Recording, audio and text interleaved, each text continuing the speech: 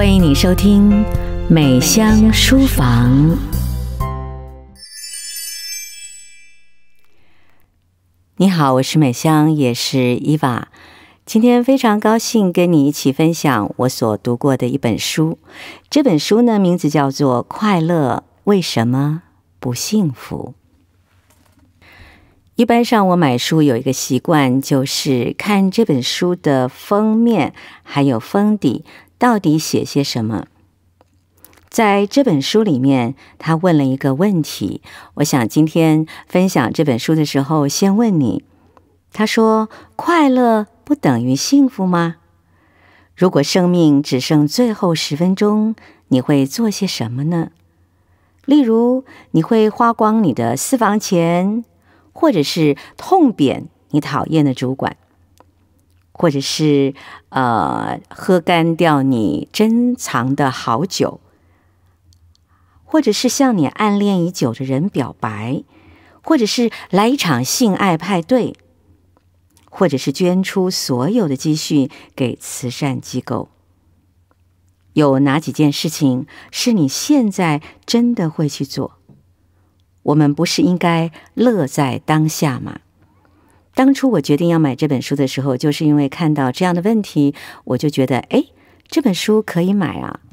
第二个原因是我喜欢它的原因，是因为它的作者他叫丹尼尔·吉伯特。我为什么喜欢他呢？因为他通常发问问题的时候都很有画面感。什么意思啊？就是他不是问问题，当他问问题的时候，你会。被他吸引，因为你感觉到他好像用电影的手法来问你问题。第二点，他用非常简单的方式来让你进入一个经济学或者是生活经济学的呃观念里面。待会儿我就念他里面所写的前言给你听，你就知道了。您现在正在收听的是新加坡的美香秀，伊娃秀。美香书房，让你的生活更美好。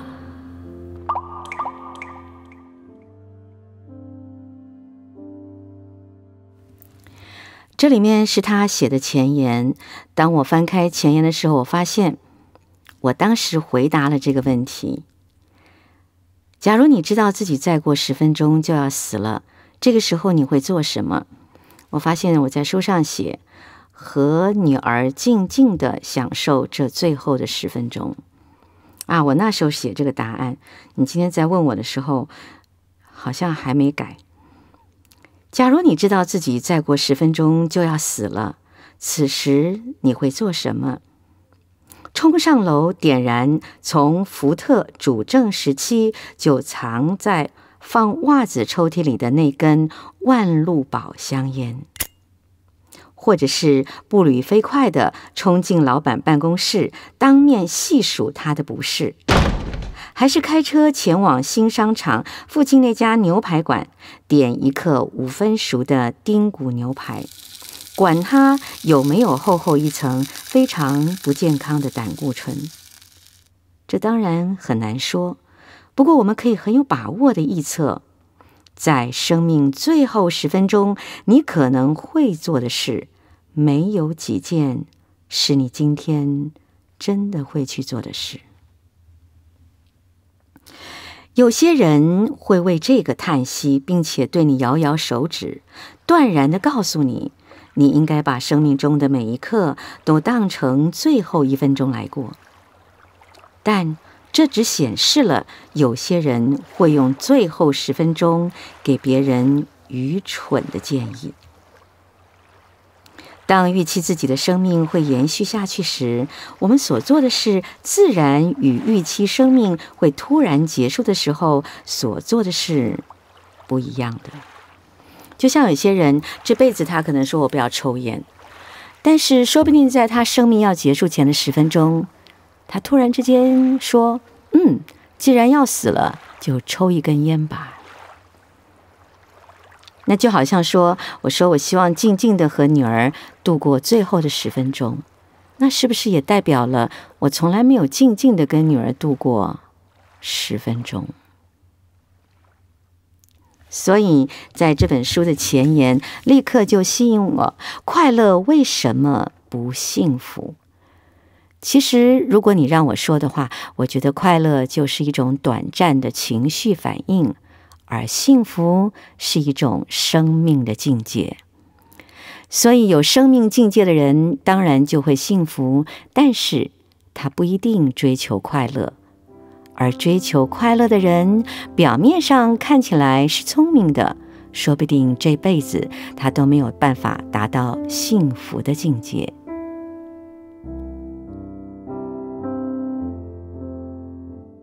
您现在正在收听的是新加坡的美香秀伊娃秀，美香书房，让你的生活更美好。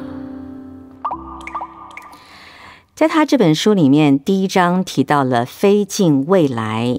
如果你有心要买这本书来看的话，那么看到第一章，我相信你会跟我一样，嗯，一直想要停一下，停一下，因为你想搞清楚他究竟想要说什么，或者是你想要搞清楚你的脑袋究竟在想什么，因为他会带你去一个你从来没有去过的地方。例如说，这边就问到，大人总喜欢拿笨问题问孩子，并等着他们回答笨的答案，因为这样可以让自己发笑。我们特别喜欢问小孩的一个问笨问题，就是你长大以后想做什么？小朋友看起来一脸茫然，仿佛担心大人的问题暗示了一些长不大的风险。呃，好像我女儿小时候曾经跟我讲，我说你长大要做什么？她说我长大以后要做管理动物的人，哼，因为她喜欢动物。可是现在她没有管理动物，她管理她妈妈。那 另外一个问题就是，你现在想做什么？小朋友就答得出来，但是我们大人都不问你现在想做什么，而是问你将来想做什么。为什么小朋友没有办法说出来以后要做什么？是因为他们不太明白以后是什么，而大人在这方面就厉害的多了。从出生到年老的过程当中，我们会逐渐明白以后是怎么回事。而在这篇文章里提到，以后好一个惊人的想法，有力的概念。了不起的发现！我在这个句子上面画了一条线，因为我知道他在说什么。真的，人有了以后的想法，世界就改变了。只要闭上眼睛，静静的沉醉于明天，他就可以把今天摆在一边，对吗？你看是不是好厉害哦？人的以后想法是一个惊人的想法，有力的概念和了不起的发现。这本书是不是很有意思呢？第一章所写的就是飞进未来。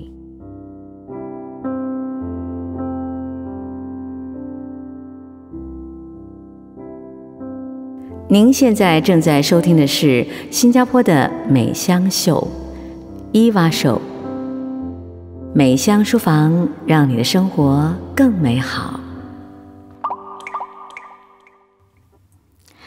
在《飞进未来》里面，他问了一个问题，就是说，为什么人不能够活在当下？要是我们做不到像鲸鱼觉得很简单的事，情况会怎么样呢？为什么我们的大脑会固执坚持的要我们去想想未来？这个作者给了你一个答案，我不知道你喜欢吗？同意吗？他说这个问题最明显的答案就是想到未来会让人开心。我们会在公司野餐的时候幻想敲出制胜的全垒打，或者是买乐透中奖，或者是呃在生活里发生一些自己希望发生的事情。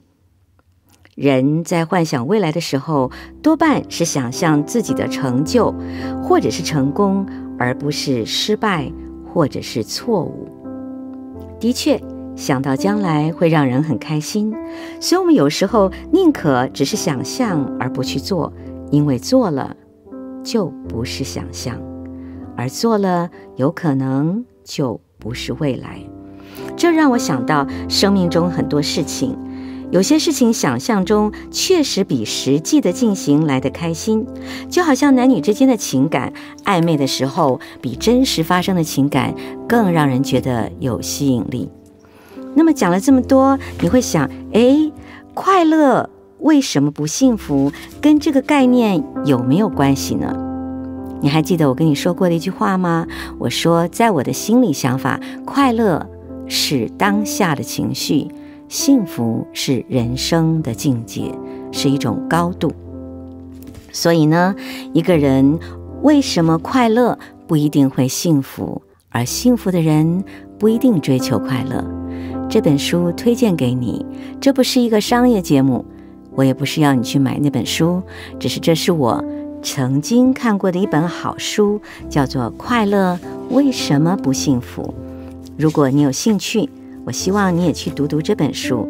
如果你读了以后呢，欢迎你写信给我，啊，或者是发简讯给我，或者是在我的脸书上留下你读这本书的感觉。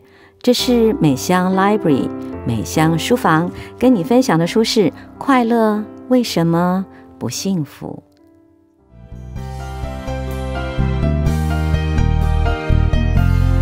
美香书房，谢谢你的收听。美香书房，让你的生活更美好。